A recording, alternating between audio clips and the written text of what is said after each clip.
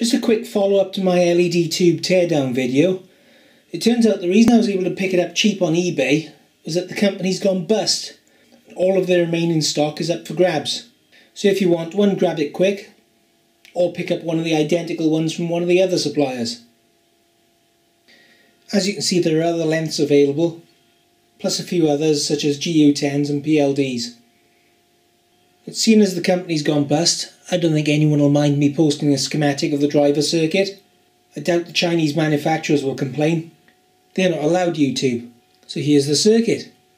Not all of the component values are marked because I don't know all of the component values. But I don't think there are any mistakes in the schematic at least. Have fun trying to work it out, especially the way T1 is wired.